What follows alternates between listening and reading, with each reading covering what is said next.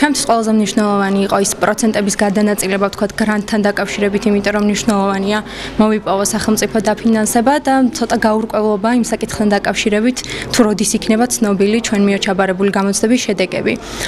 ანუ შეიძლება გრანტების შედეგები იყოს ცნობილი მაშინ, როცა ჩვენ უკვე სწავლა დაწყებული გვექნება და ეს ქმნის რა თქმა უნდა გარკვეულ სირთულეს. მაგრამ იმედი გამოთქვეს ჩემთან საუბარში, რომ ეს პრობლემა რაც წინა წელს იყო, წელს უფრო მოგვარდება და უფრო ორგანიზებული იქნება.